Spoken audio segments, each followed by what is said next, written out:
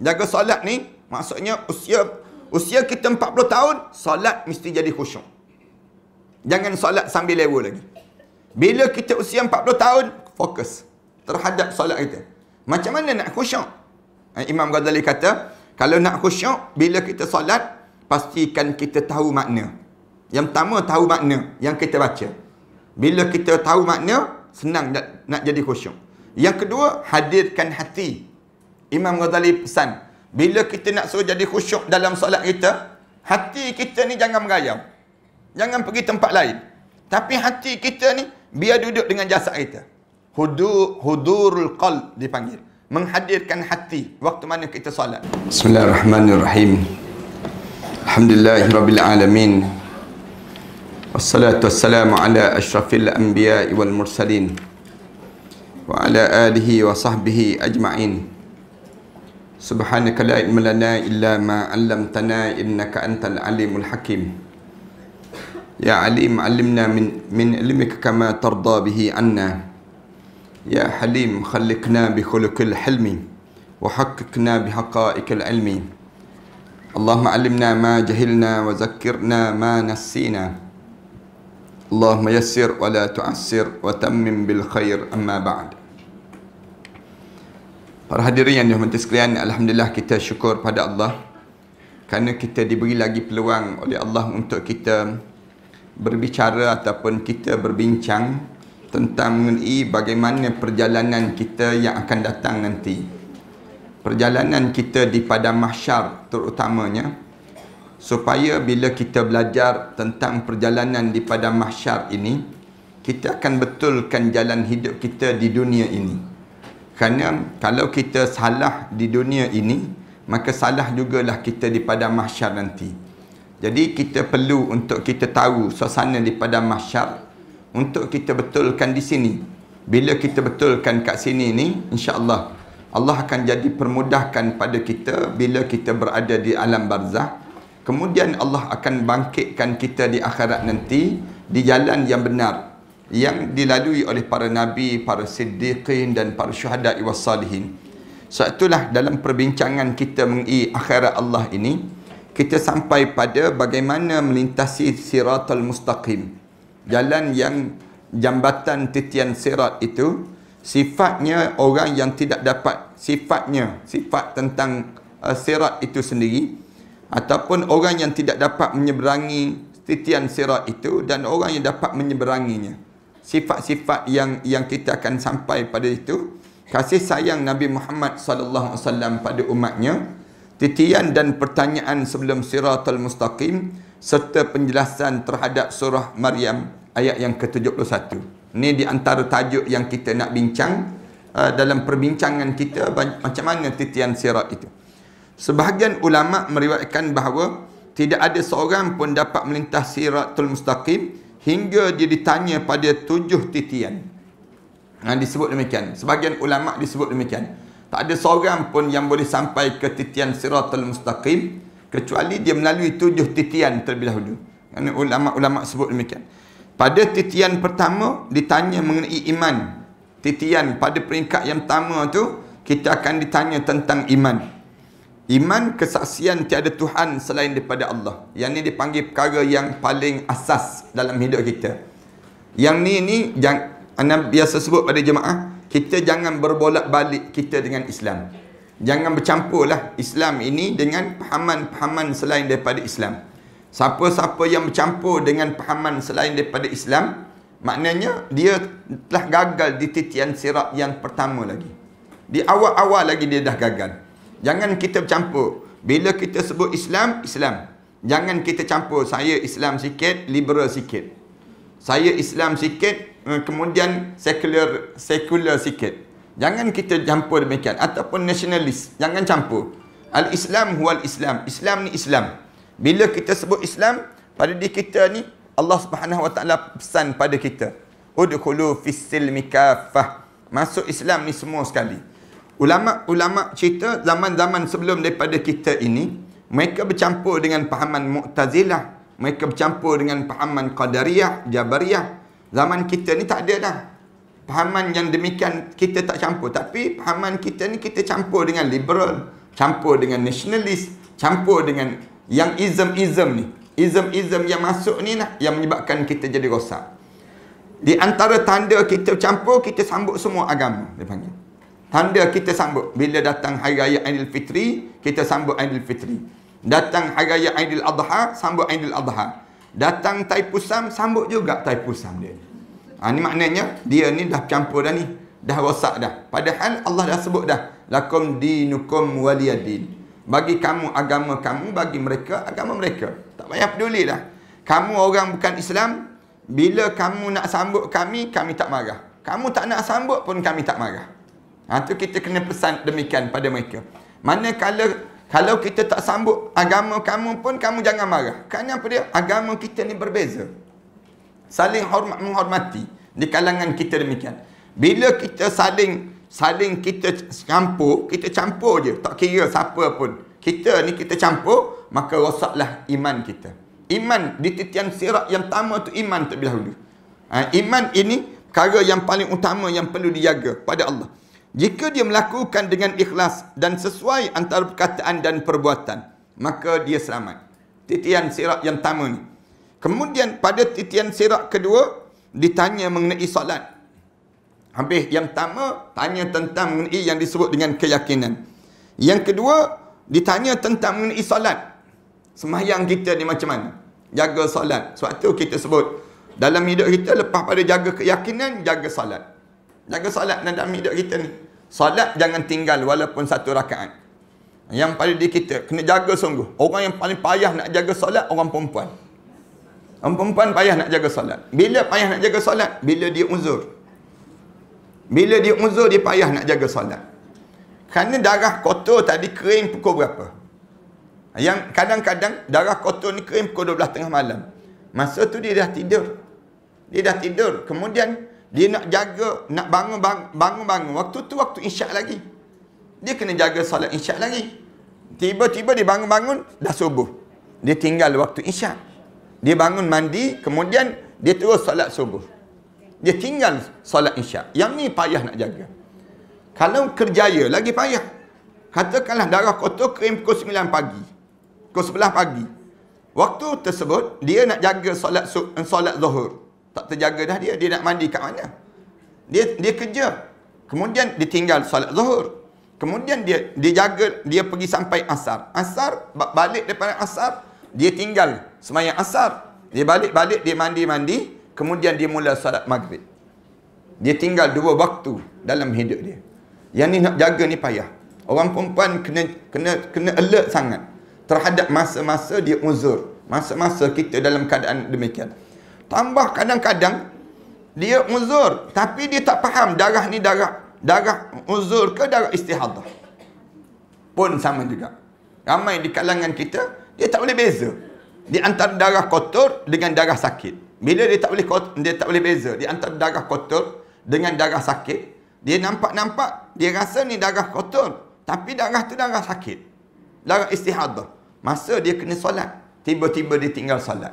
Nah, yang ni yang jadi payah dan keliru dalam hidup mereka.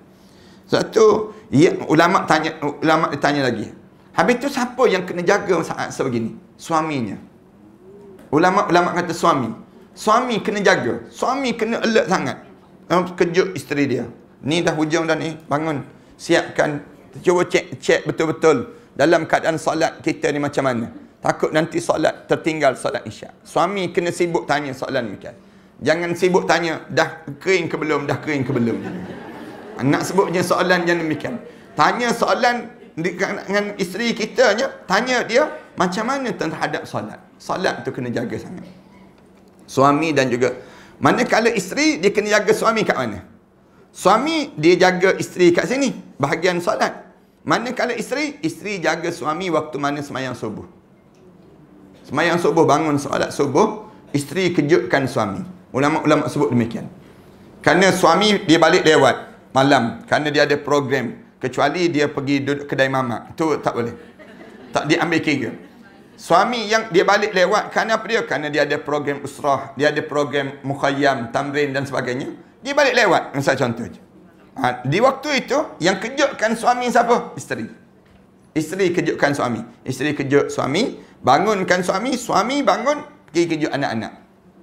Itu keedah dalam dalam kehidupan kekeluargaan. Satu Islam larang jangan bercerai. Bila bercerai, siapa nak kejutkan anak? Siapa nak tidurkan anak?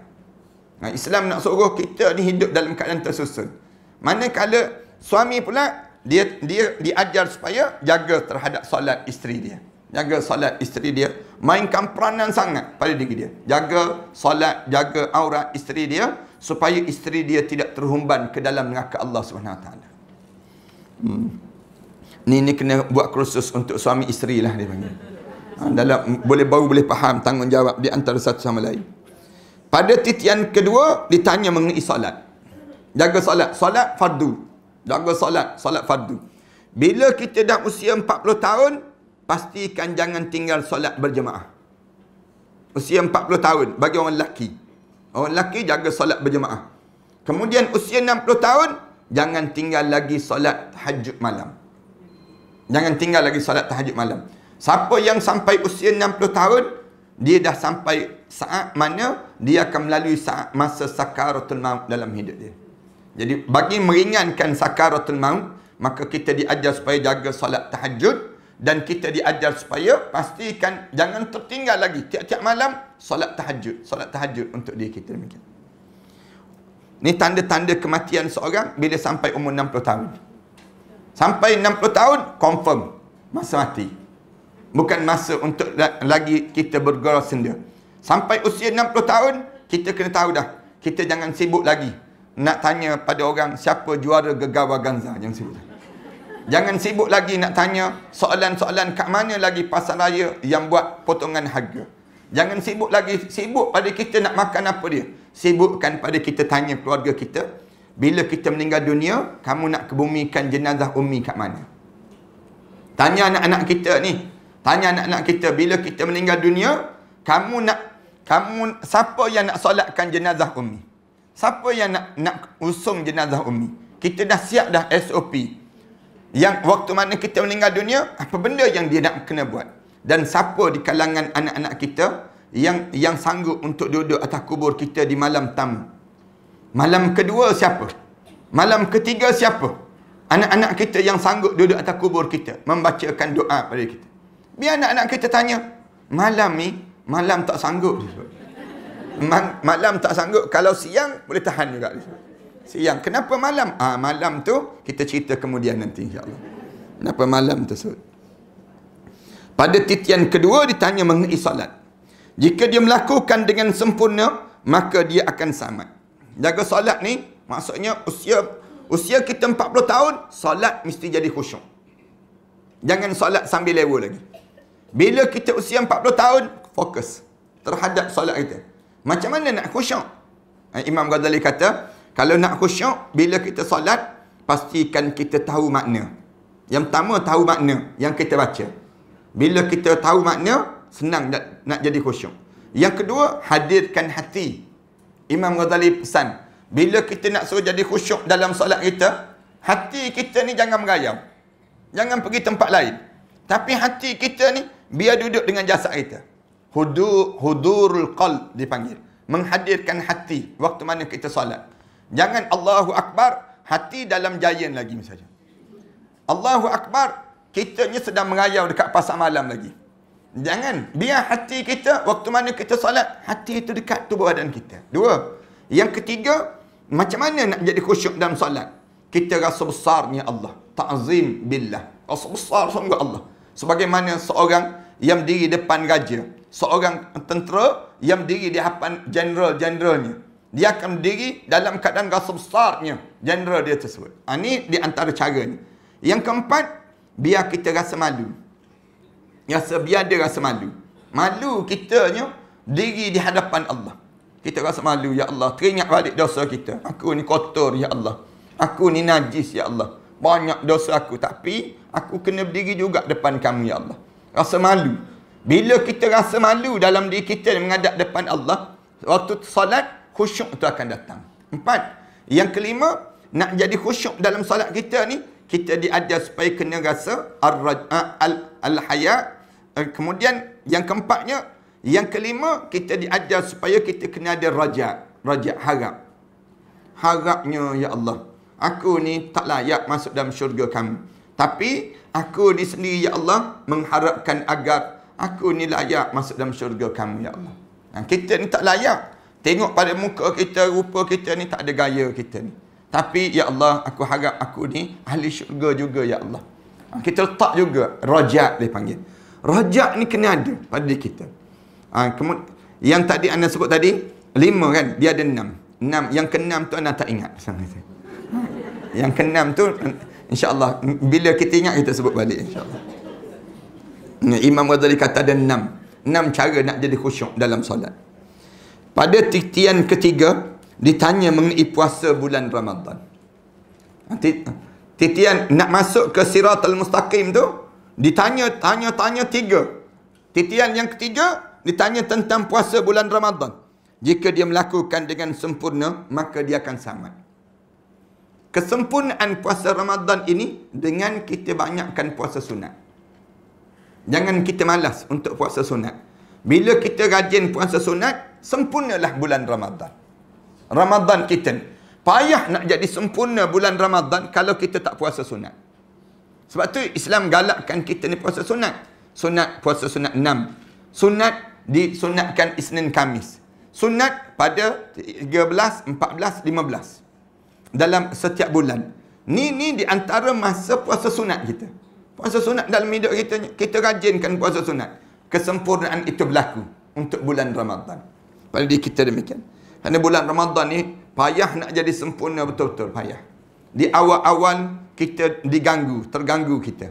Di tengah-tengah lagi terganggu. Hujung pula lagi terganggu. Di awal terganggu. Terganggu dengan makanan-makanan yang banyak. Dan kita ni terganggu di awal-awal.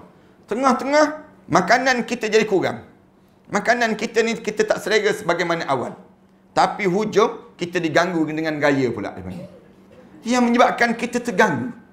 Nak fokus kita dalam patutnya lagi hujung, lagi kita di, lagi dekat dengan Allah bulan Ramadan. Tapi tak. Dalam suasana kita, lagi hujung, lagi kita ni dalam keadaan yang semakin hamba dan tawar. Kenapa kita jadi macam tu? Kerana kita diganggu dengan gaya. Masyarakat kita dibesarkan gaya. Akhir-akhir ni, masyarakat Melayu kita ni dia nampak gaya tu besar. Sehingga kan bila sebut saja gaya, orang kita ambil cuti untuk balik gaya. Dia tak ambil cuti untuk dapatkan malam Lailatul Qadar. Ha, ni, ni yang menyebabkan kita terganggu. Kesempurnaan kita, akhir dia tidak sempurna. Malam-malam akhir, kita di atas jalan raya. Malam-malam akhir, kita sibuk buat lemang. Malam-malam akhir, kita sibuk dengan keadaan yang kita tak mencari lagi Lailatul Qadar yang menyebabkan kita tak sempurna Ramadan kita.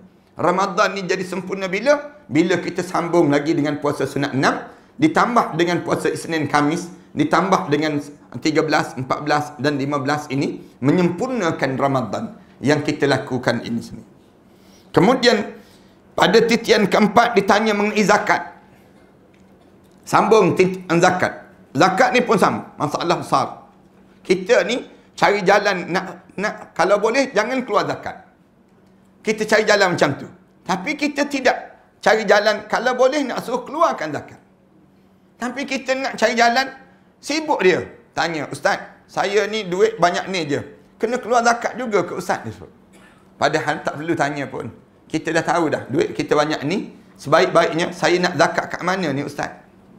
Tanya soalan demikian. Dan memang tanggungjawab kita dah. Saya nak bagi pada cucu saya. Saya nak bagi pada orang ni. Perlu zakat lagi ke Ustaz? Eh, orang orang kita ni tanya.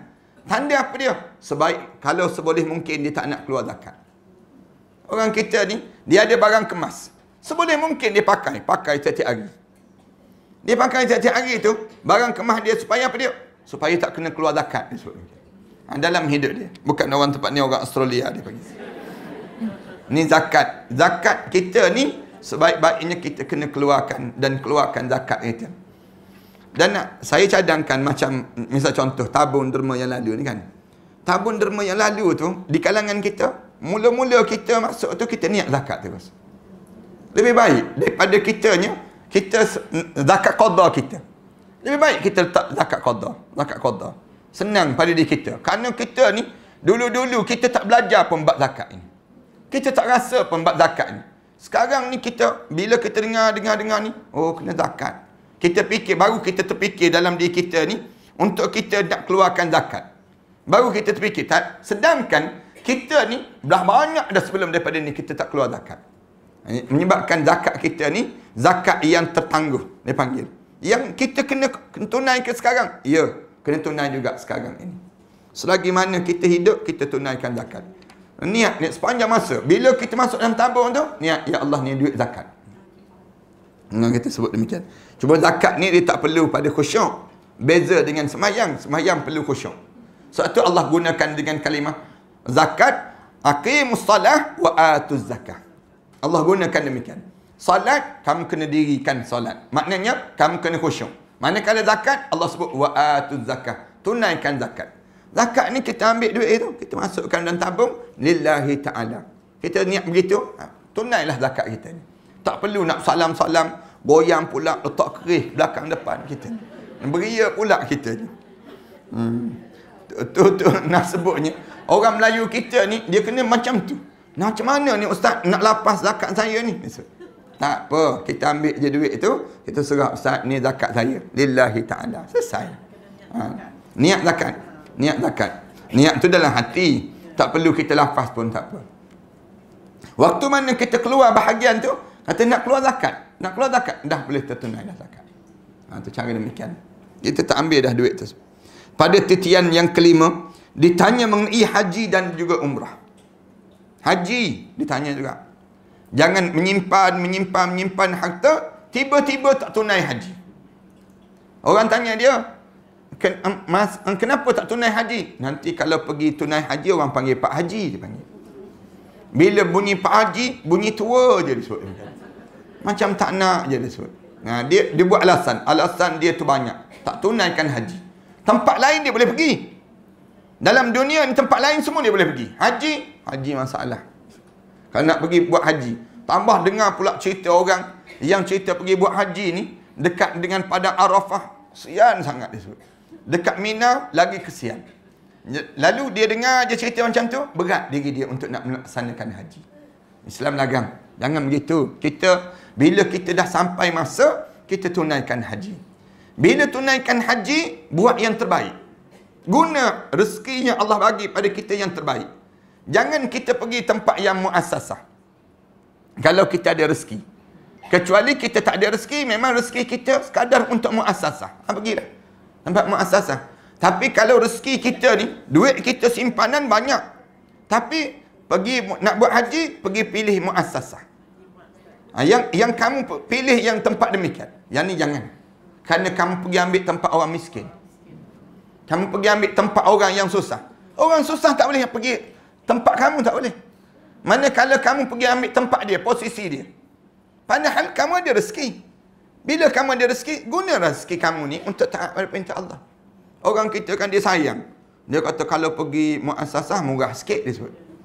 Kalau pergi dengan yang disebut dengan package menyebabkan mahal sikit. Harga RM23,000, RM25,000. Sampai ada yang package sampai RM100,000 dan sebagainya. Padahal rezeki dia ada. Allah bagi dah rezeki untuk dia. Kamu buatlah yang terbaik dalam hidup kamu. Ni kena fahamlah konsep ni. Jangan kita salah faham. Ramai orang kita ni, dia dia kata pergi muasasah rasa susah sikit. Muasasah kan susah. Dia sebut demikian. Muasasah dia Nak jadi menyusahkan pada dia. Siapa yang suruh buat susah tu? Islam bukan nak suruh kita buat susah. Islam nak suruh kita buat senang. Ibadah haji ni memudahkan. Demikian juga umrah. Demikianlah dalam hidup kita. Dan ada orang tanya lagi, mana perlu buat ustaz? haji ataupun umrah terlebih dahulu. Ada orang sebut kena buat umrah, kena buat haji dahulu baru boleh buat umrah. Orang sebut demikian. Ana sebut tak tak semesti. Kita ni kalau ada rezeki sampai umrah, buat dulu, buat latihan dulu. Umrah ini sendiri. Bila bila kita dah sampai satu masa, memang kita kumpul dalam masa yang sama kita kumpul untuk haji. Maka sampai cukup masa dia, buatlah haji. Tunaikan haji pada diri kita. Hmm, jangan terikat dalam amal ibadah ni Allah memudahkan bukan Allah menyusahkan haji kemudian titian yang kelima jika dia melakukan keduanya dengan sempurna maka dia selamat siapa-siapa yang yang dia buat haji dengan betul-betul haji yang di, makbul di sisi Allah haji yang mabrur di sisi Allah. Laisal jaza illal jannah. Tak ada balasan untuk dia kecuali syurga Allah Subhanahu Wa Taala. Kemudian pada titian yang keenam ditanya mengenai mandi dan juga wuduk dalam hidup dia. Mandi janabah. Maksudnya bukannya tanya berapa kali mandi sehari tidak. Tapi ditanya bagaimana mandi kamu? Kamu mandi itu betul tak betul? Dengan cara agama. Agama suruh mandi begini kah? Sebab ramai orang kita ni tak faham konsep mandi. Kadang-kadang darah kotor tu kering dah lama dah. Dah 2 3 hari dah baru dia nak mandi. Ada juga begitu. Saya terjumpa dah dua tiga orang. Orang perempuan yang yang tanya saya soalan, dia kata saya lepas pada dua tiga hari baru saya mula mandi. Macam mana Ustaz? Habis kamu solat bila? Lepas tu lah saya solat. Tak boleh, tak betul. Dia kena kering je mandi terus. Dan jangan kita ni melewat-lewatkan masa mandi. Di akhirat nanti ada orang yang ada orang yang terseksa kerana tak jaganya mandi ni. Mandi wajib yang patut dia mandi tadi. Pesan anak-anak perempuan kita. Anak-anak kita tak belajar kan. Dia tak belajar. Di, di sekolah dia tak belajar. Kemudian dalam bak darah ni sendiri. Bila dia cek tersebut. Darah warna coklat. Darah yang warna merah. Darah yang yang berubah-ubah ni dia tak tahu makna darah tersebut. Yang ni penting untuk dipelajari di kalangan kita. Anak perempuan lah perlu di, di, dibetulkan. Dan juga di keluarga di kalangan kita. Jika dia melakukan dengan sempurna, maka dia selamat. Ha, titian yang keenam. Pada titian yang ketujuh, ditanya mengenai perbuatan aniaya manusia yang merupakan titian yang paling sukar untuk dilalui. Ha, ini yang disebut dengan titian yang ketujuh. Abu Hamid menyatakan dalam Kashful Ulumul Akhirah. Imam Ghazali sebut, orang yang tinggal tempat persinggahan hanya orang mukmin, orang Islam, para muhsinin, orang yang berilmu, orang yang jujur, para syuhada, orang saleh dan para rasul yang tidak bersifat ragu-ragu, munafik dan pura-pura dalam agama. Allah Ta'ala berfirman pada mereka, Wahai orang yang berhenti, siapakah Tuhan kamu semua? Orang yang dipanggil, kemudian ditahan. Ditahan sebelum melalui titian sirat. Orang yang diberhenti ni, siapa Tuhan kamu? Mereka menjawab, Allah Subhanahu Wa Ta'ala. Ditanya pada mereka, adakah kamu semua mengenal, mengenali Allah? Mereka menjawab, ya. Lalu di sebelah kiri arash diperlihatkan mereka malaikat yang diletakkan pada lekukan ibu jari jarinya tujuh lautan maka tidak akan penuh kerananya. Dengan izin Allah Subhanahu wa taala malaikat itu berkata aku adalah Tuhan kamu semua. Mereka menjawab kami berlindung kepada Allah daripada kamu. Kemudian daripada sebelah kanan arash diperlihatkan pada mereka malaikat yang jika pada lekukan lekukan jarinya diletakkan 14 lautan maka tidak penuh olehnya. Dengan izin Allah malaikat itu berkata aku adalah Tuhan kamu semua. Mereka menjawab kami berlindung kepada Allah daripada kamu. Lalu Allah Subhanahu wa taala memperlihatkan bentuknya dalam rupa yang bukan seperti mereka kenal. Mereka mendengar Allah Subhanahu wa taala ketawa. Lalu mereka semua sujud. Allah Subhanahu wa taala berfirman selamat datang kepada kamu semua. Allah Subhanahu Wa Taala lalu mengarahkan mereka menuju ke syurga dan mereka mengikutnya serta berjalan melintasi titian siratal mustaqim. Ketika itu manusia melintas berduyun-duyun. Para rasul, para nabi, orang jujur, para syuhada, orang mukmin, orang yang berilmu dan orang Islam. Di antara mereka ada yang ditelungkupi wajahnya. Ada yang ditahan di Al-A'raf dan ada pula yang jauh daripada kesempurnaan imannya dalam melalui titian siratul mustaqim ada yang melalui dalam masa 100 tahun lalu di atas titian sirat itu selama mana 100 tahun lalu itu ha, ini keadaan yang dilalui ini suasana yang kita akan lalui di pada mahsyar Allah bila sampai nak melalui titian sirat itu Allah tahan yang ni ditapih lagi tapih tapih tapih tapih lagi tanya lagi kemudian ada yang pergi yang disebut dengan al-a'raf ada yang lalu saja titian sirat. Nabi-Nabi Rasul-Rasul mula bergerak. Allah kata gerak, gerak, gerak. Yang jatuh tu jatuhlah. Jatuh dalam kawah neraka. Kemudian yang dalam keadaan berhenti ni lalu titian sirat. Lalu titian siratal mustaqim. Ulama-ulama sebut demikian. Ulama ditanya, titian siratal mustaqim tu kat mana? Dia tanya balik. Titian siratal mustaqim tu kat mana? Ulama bagi tahu yang pertama titian sirat yang pertama. Titian sirat ni lah yang pan. Lepas titian sirat masuk syurga terus ke? Tak. Dia berhenti dahulu. Dia ada perhentian. Di perhentian ini ada lagi jambatan untuk nak lalu. Ha, itu yang menyebabkan, yang ni yang dibincang ni. Yang kita bincang ni, berhenti itu, kemudian ada titian lagi untuk nak masuk dalam syurga Allah SWT. Ha, yang titian itu, yang disebutnya, ada yang lalu dalam masa seribu tahun. Ada yang lalu dalam dalam seratus tahun. Namun api neraka tidak membakar orang yang melihat Tuhannya dengan jelas. Ha, api neraka. Bagaimana rasanya diri kamu apabila berada di atas titian sirat dan memandang ke neraka jahanam yang hitam dilutupi kegelapan, panas yang membakar, nyalaan api yang menjulang tinggi dan kamu berjalan dalam keadaan tersekat-sekat. Macam mana perasaan kamu?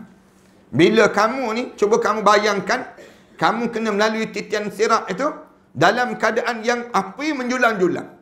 Kemudian panas, Kemudian dalam keadaan diri kamu tersekat-sekat. Wahai diriku, bertaubatlah dengan sebenarnya. Ini syair orang Arab lah. Orang Arab ni, kalau dia sebut dia disebut sesuatu benda, biasanya dia kuatkan hujah dia dengan syair. Syair dia terjemah begini. Wahai diriku, bertaubatlah dengan sebenarnya. Apalah dayaku, jika semua hamba telah dikumpulkan kepada yang punya kekuasaan, maka mereka bangkit daripada kuburnya dalam keadaan mabuk kerana memikulkan dosa sebesar gunung titian telah dibentangkan agar mereka melaluinya. Di antara mereka ada yang ditelungkupkan ke kiri pada mereka tersebut. Ada juga yang jalan menuju ke syurga adn yang disambut para pengantin dengan sanjungan. Ha, waktu itu mula berjalan untuk nak masuk dalam syurga jannatul adn yang disambut dia di kalangan para bidadari-bidadari yang nak sambut saat mana nak masuk dalam syurga Allah Subhanahu taala. Al-Muhaimin Allah berfirman, "Wahai hamba-Ku, aku mengampuni dosa kamu, maka janganlah kamu bimbang." Ungkapan penyair lain berkata, ketika sirat terbentang di atas neraka jahim, terasa sukar dan panjang bagi yang melakukan maksiat. Ada orang yang berada dalam neraka, mereka akan mengalami kebinasaan. Ada orang yang berada dalam syurga, mereka mendapat daripada Allah keampunan. Nyatalah kebenaran dan tersingkaplah segala yang tersembunyi. Derita akan berpanjangan, ratapan akan berterusan bagi mereka yang dihumban di dalam neraka itu. Dalam daripada hadis Abu Hurairah radhiyallahu anhu, mereka datang pada Nabi Muhammad sallallahu alaihi wasallam. Lalu baginda mengizinkan mereka. Kemudian dibawa amanah dan kasih sayang yang diri di sebelah kiri dan kanan titian sirat. Orang yang tamu berjalan melaluinya melalui dengan cepat seperti borak saat itu. Mula-mula bila berjumpa dengan Nabi Muhammad, Allah kata, kemudian lalu titian sirat. Bila nak lalu titian sirat, letakkan yang disebut dengan dua perkara. Kat tepi titian sirat ini.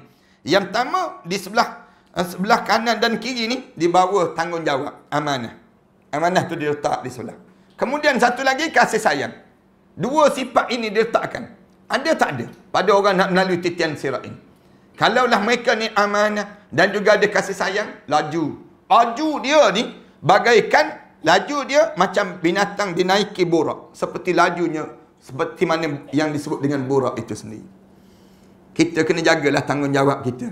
Tanggungjawab kita ni dalam hidup kita untuk diri kita sendiri. Tolong jaga tanggungjawab ini. Amanah kita dengan yang disebut dengan keluarga kita. Tanggungjawab kita. Kemudian amanah kita dengan siapa? Masyarakat kita. Jaga tanggungjawab ini. Kalau kita boleh jaga yang ni, insyaAllah. Kita lalu, laju je melalui titian sirat itu. Seperti borak yang melalui yang disebut dengan titian itu sendiri. Laju tak laju borak ini.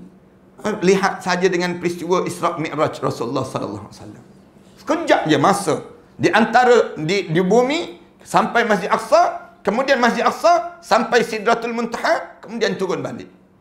Disebutnya Rasulullah sallallahu alaihi wasallam itu, perjalanan Rasulullah itu disebut dalam kitabnya, bila Rasulullah balik itu, tempat yang Rasulullah duduk itu panas lagi tempat punggung. Maknanya cepatnya masa yang berjalan itu sendiri. Macam mana Allah buat dalam perjalanan sebegitu, Allah panjangkan masa. Macam kita tengok orang meninggal dunia kan.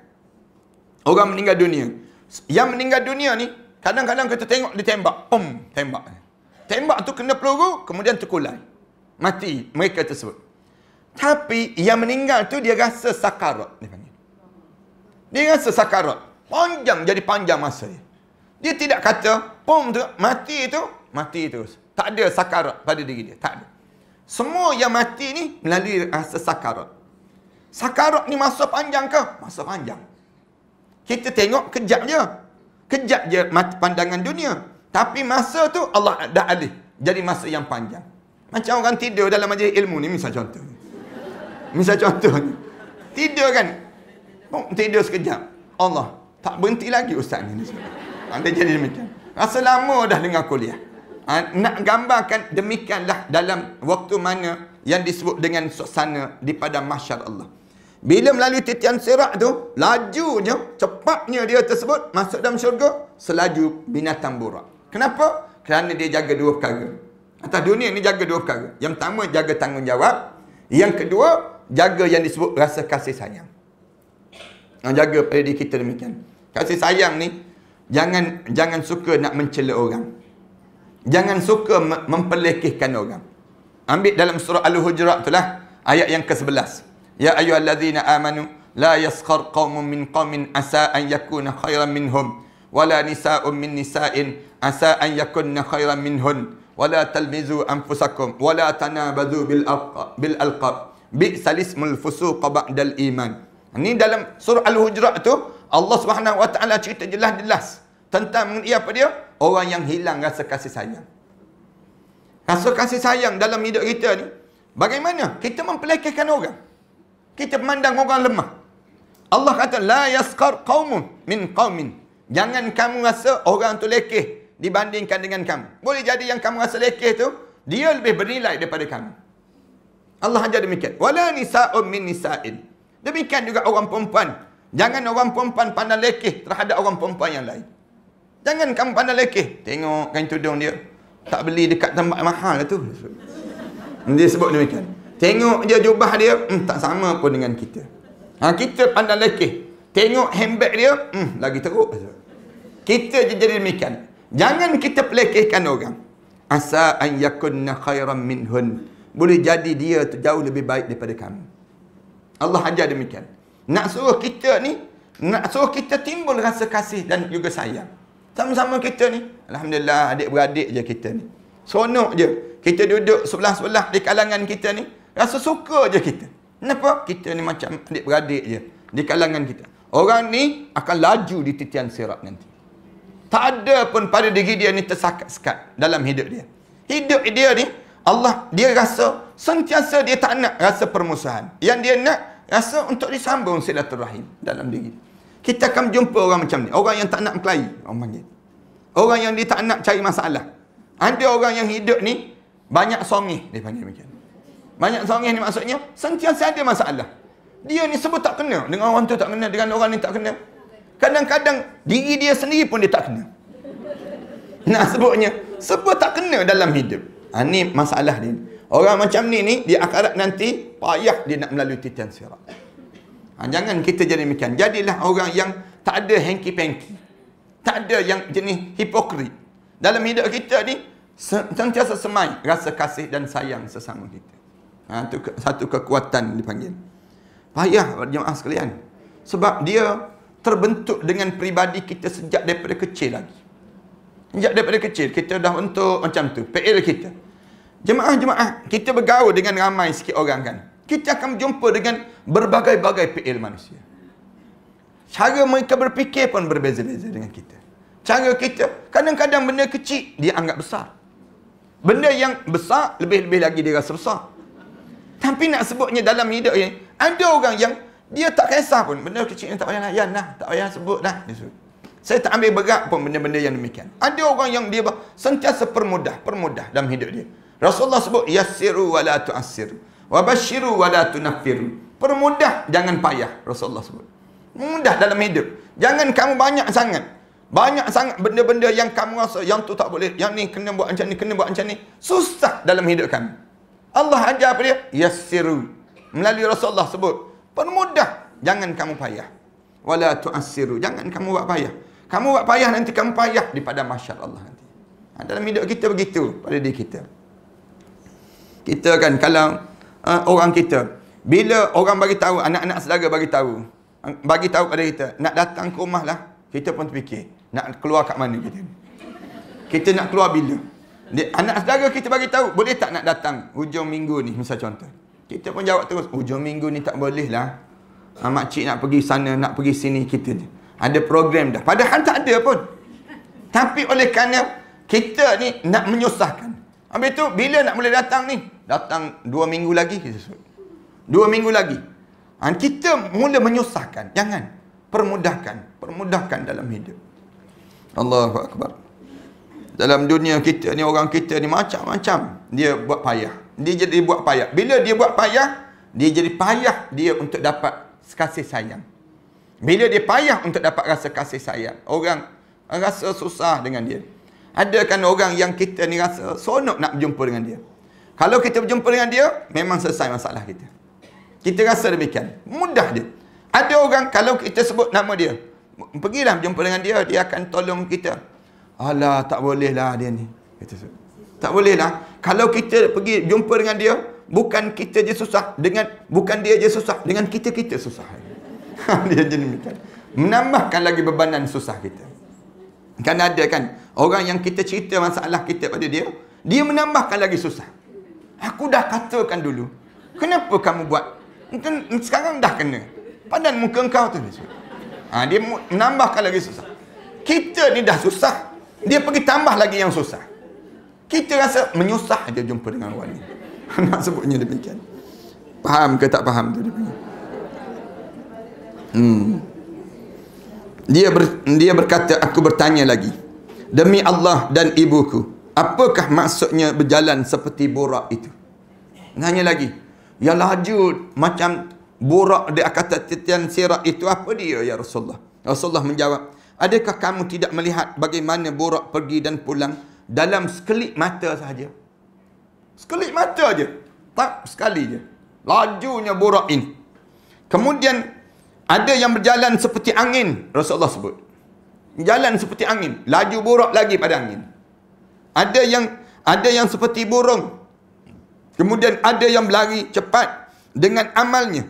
Sedangkan Nabi, kamu semua berdiri di atas titian sirat sambil berdoa, Ya Allah, selamatkanlah, selamatkanlah. Tiap kali mana kamu nak melalui titian sirat itu, Rasulullah kata, Nabi-Nabi di kalangan umat ni, dia mesti berdiri di hujung titian sirat. Sambil dia sebut apa dia? Ya Rab, salim, salim. Wahai Tuhanku, selamatkanlah, selamatkanlah. Selamatkanlah, selamat. Tengok Umat dia nak lalu saja, nak nak melalui titian sirat je, Nabi ni akan berdiri. Ya Rab salim salim. Wahai Tuanku, samakanlah samakanlah. Rasulullah cerita demikian. Sehinggalah sehingga ada hamba yang sedikit amalnya sehingga dia berjalan hanya berjalan dengan merangkak saja saat. Sikitnya amal dia tu berjalan dengan merangkak aja atas titian sirat. Nak suruh selamatnya di, di saat yang sedemikian rupa. Jemaah tengok yang di negara China kan dia buat eh, jambatan kaca tu. Jambatan kaca tu kemudian dia buat rangka-rangka pula. Tengah-tengah berjalan tu dia buat retak, tang dia buat retak. Terkejut tergamam merangkak je orang. Atas tersebut. Tu kaca yang tengok sayu ke bawah. Yang ke bawah tu sendiri. Pun yang kita dah tengok dah macam mana sayupnya. Takutnya manusia. Ini titian sirat titian sirap ni bukan kaca-kaca dah. Lalu atas selai rambut yang dibelah tujuh. Rambut dibelah tujuh. Kemudian tajam pula. Tajam lebih tajam daripada mata pedang. Saat itu cuba kita bayang. Nak suruh selamat ni. Kalau tak lalu tak boleh. Dah nak ditutup dah. Pada masyar nak ditutup. Kita pula kena bergerak. Kena bergerak juga. Bila dalam keadaan sebegitu. Nak lepas titian sirap tu. Bawah pula gaun neraka. Allah tak boleh nak dibayang dah. Bunyi pula manusia bunyi rak, rak, rak. Takut ni tak boleh nak disebut bahasa pada di kita saat itu. Allah Akbar. Biar Allah selamatlah kita semua insyaAllah. Rasulullah wasallam bersabda, di sekitar sirat terdapat pengait yang menyambar sesiapa yang diperintahkan. Tapi titian sirat tu pula ada pengait. Pengait yang kait yang sedang kait je. Tengok orang lalu je kait. Lalu je orang, orang yang lalu tu dikait. Siapa yang tersangkut dilemparkan ke dalam neraka. Demi zat yang memegang jiwa Muhammad dasar neraka jahanam itu setinggi mana 70 adalah tingkat dia saja. 70 tingkat setinggi itu disebutnya. Ini juga diriwayatkan dalam ha-, hadis Uzaifah. Daripada hadis Abu Sa'id Al-Khudri yang menyatakan kemudian dibentangkan Al-Jis. Jis ni maknanya jambatan. Jejantas. Kalau orang Arab dipanggil Jis ni maknanya jejantas lah. Jejantas. Bila dibentang jejantas di atas neraka, Jahannam dan dibenarkan memberi syafaat. Mereka berdoa, Ya Allah, samakanlah, samakanlah. Mereka ni Nabi-Nabi berdoa. Kemudian ditanya pada Rasulullah, Wahai Rasulullah, apakah Al-Jis? Baginda menjawab, titian yang licin, yang mempunyai lengan. Peliknya ada pengait, serta hujung yang runcing dan penuh dengan duri, yang dinamakan dengan As-Sa'dan, duri As-Sa'dan, duri yang beracun. Dia panggil. Orang mukmin ada yang berlari sekelip mata, ada yang seperti borak, ada yang selaju angin, burung dan ada pula yang seperti kuda dan tunggangan lain di pada mahsyar itu. Orang Islam selamat dan orang yang dikaitkan diangkat serta dilemparkan ke dalam neraka jahanam. Di saat mana di di pada di melalui titian sirat itu sendiri. Mengenai hadis ini akan dijelaskan kelak. Hadis ini. Dalam riwayat Abu Sa'id Al-Khudri dinyatakan telah sampai riwayat kepada aku bahawa al-jis lebih halus daripada rambut dan lebih tajam daripada pedang. Nah, itu yang dimaksudkan demikian. Al-jis itu macam mana jambatan jambatan titian sirat itu? Lebih ta- lebih halus daripada rambut, lebih tajam daripada tajamnya pedang itu sendiri. Dalam riwayat lain oleh Muslim dinyatakan lebih nipis daripada rambut. Lebih nipis daripada rambut. Allah, macam mana lah. Cuba try dah berjalan atas rambut hari ni. Jalan nak tengok macam mana. Boleh tak boleh. Jalan atas tali pun tak boleh dah. Ini kan jalan atas rambut. Diriwayatkan daripada Abu Sa'id Al-Khudri. Dia berkata, ha, boleh jadi kita katanya, habis nak jalan macam mana Ustaz? Logik ni tak boleh. Logik ni tak boleh. Tak, kita lalu ini dengan amalan. Bukan kita berjalan, kita lalu itu dengan dengan latihan yang kita buat ni tak. Tapi kita lalu di titian sirat tu, semua berdasar pada amalan. Sebab apa laju macam angin? Sebab amalan kita tak ber, tak berhenti pun dalam kita melakukan perkara yang salih. Kenapa merangkak dia? Kerana kita ni buat dalam keadaan yang malas-malas, malas-malas di atas dunia. Jadi menyebabkan kita ni jadi merangkak daripada masyarakat Allah. Ada yang laju, ada yang berjalan dalam keadaan stabil. Berdasar pada amalan kita di dunia ini. Kita ni kan cuba kita perhati di kalangan kita. Ada orang yang bersungguh-sungguh dalam dia nak mendapatkan redha Allah. Ada di kalangan kita ni sambil lewa je sambil lewa je. Baca Quran pun sambil lewa je. Dan di akhirat nanti sama juga. Dia akan jadi sambil lewa je pada diri dia. Ada orang yang dia buat, ya, dia yakin tak yakin. Percaya tak percaya. Jadi lambat pada diri dia untuk sampai. Amalan di kalangan kita ni, ada orang yang sungguh-sungguh. Saya buat contoh orang yang sungguh-sungguh siapa? Orang yang boleh bangun tahajud tiap-tiap malam. Tiap-tiap malam di kalangan kita kan. Ada di kalangan kita ni, tiap-tiap malam dia boleh bangun tahajud. Ada di kalangan kita, kalau kita tanya pada dia, macam mana kamu boleh buat tiap-tiap malam? Saya fikir saya tak ada peluang lagi lepas pada ini. Inilah peluang pada saya. Lalu saya lakukan bersungguh-sungguh. Ada orang yang kita tanya dia, buat tiap-tiap malam ke? Tak. Sekali sebulan je saya buat. Dia sebut. Saya ni sekali setahun pun satu rahmat. Dia sebut demikian dalam hidup dia. Kita tanya kenapa jadi macam tu? Dia akan jawab apa dia? Dia akan jawab, saya ni berdasar pada saya ni, saya kadang-kadang saya percaya, kadang-kadang saya tak percaya. Dia sebut dasar pada amalan ini sendiri. Waktu kita ni, bila kita belajar, tanamkan keyakinan.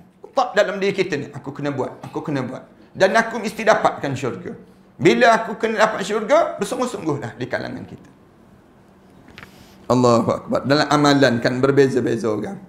Macam kita tengok orang meniaga lah. Ada orang meniaga bersungguh-sungguh. Ada orang meniaga sambil lewa je dia meniaga. Dia ada jenis demikian. Ada orang yang bersungguh-sungguh tu kita boleh tengok cara dia berniaga. Dia siapkan dengan branding dia, siap dengan dengan tempat dia. Dia bersungguh-sungguh dalam dia berniaga. Ada orang yang berniaga ala kadar je. Ala kadar je yang dia buat tersebut. Tapi ada je, oh, ada orang beli, ada orang tak beli. Pada diri dia, ah, demikianlah dalam hidup kita. Kita berniaga dengan Allah setiap hari. Setiap hari ni, bersungguh tak bersungguh pada diri kita. Orang yang bersungguh tu, sentiasa dia nak, nak, nak, nak tamak dalam kehidupan dia untuk akhirat Allah. Yang tak bersungguh tu Orang tanya dia nak masuk syurga? Nak. Kalau tak boleh, tak boleh nak buat macam mana? Tak apa je lah. Dia sebut demikian. Sambil level je dia. Masuk neraka nak? Tak nak. Habis tu kalau kena masuk, masuk je lah. Kalau kena masuk, masuk je lah. Senang je dia. Tak ada rasa takut, tak ada rasa. Tak. Kalau orang sungguh-sungguh, orang kata, kalau kena masuk, ah, tak nak, tak nak masuk. Heret macam mana pun tak nak masuk. Ha, itu maknanya kesungguhan dalam diri dia. Untuk dia dia nak dia boleh masuk syurga dan dia terjauh daripada neraka Allah SWT. Uh, kemudian diriwayat daripada Abu Sa'id Al-Khudri dia berkata, aku mendengar Rasulullah sallallahu alaihi wasallam bersabda, sirat dibentangkan di antara dua pinggir neraka jahanam. Di, di atas duri seperti duri pohon as-sa'dan, lalu manusia melaluinya ada orang Islam yang selamat dan dikait dengannya. Kemudian selamat dan ada pula yang dikait dengannya lalu dilemparkan ke dalam neraka jahanam itu. Nauzubillah min zalik. Ibnu Al-Mubarak meriwayatkan daripada Hisham bin Hassan daripada Musa daripada Anas daripada Ubaid bin Umar bahawa sirat terbentang di atas neraka jahanam seperti pedang dan pada kedua sisinya terdapat pengait yang hujungnya runcing. Hujung Kedua tepi itu ada yang kait. Kait, kait, kait itu pula tajam. Tajam yang dikait tadi. Kemudian seseorang disambar oleh satu pengait yang jumlahnya lebih banyak daripada penduduk suku Rabi'ah dan Mudar itu sendiri. Ha, disebut demikian. Rusdan bin Sa'id meriwayatkan daripada kami. Daripada Amru bin Al-Haris. Haris daripada Sa'id bin Abu Hilal. Dia berkata sampai pada kami bahawa sirap pada hari kiamat bagi sebahagian manusia lebih halus daripada rambut sedangkan bagi sebahagian lain seperti padang yang luas yang dijadikan padanya. Ha, ini suasana yang disebut dengan sirat ini. InsyaAllah kita sambung pada minggu yang akan datang nanti. Mudah-mudahan Allah jadikan kebaikan yang terusan pada kita insyaAllah. Wa sallallahu ala sayyidina Muhammad wa ala alihi wa sahbihi wa sallam. Walhamdulillahi rabbil alamin. Bismillahirrahmanirrahim. Alhamdulillah Rabbil Alamin Wassalatu wassalamu ala Rasul Amin Wa ala alihi wa sahbihi ajma'in Allahumma syrah lana sudurana Wa hassin akhlaqana wa yassir lana umurana اللهم اشف مرضى بلال بن أحمد شهيدي اللهم اشف مرضاه اللهم الشافي أنت الشافي لا يغادر سقما اللهم اشف مرضى ابن بن إبراهيم اللهم اشف مرضاه اللهم الشافي أنت الشافي لا يغادر سقما اللهم اللهم اشف مرضانا ومرضى المسلمين وارحم موتانا وموتى المسلمين اللهم اجعلنا من عبادك الصالحين واجعلنا من عبادك المخلصين ربنا عليك توكلنا واليك انبنا واليك المصير ربنا آتنا في الدنيا حسنه وفي الآخرة حسنه وقنا عذاب النار صلى الله على محمد وعلى آله وصحبه وسلم الحمد لله رب العالمين